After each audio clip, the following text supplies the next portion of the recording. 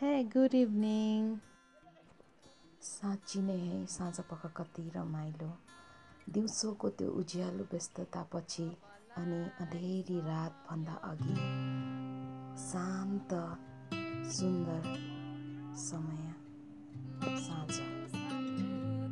साँझको यो खुल्ला आकाश अनि मनमा माया अनि खुसीको आभास। त्यसपछि गुन्जाउन मन लाग्छ मेरो फेभरेट सेभेन राईको आवाज।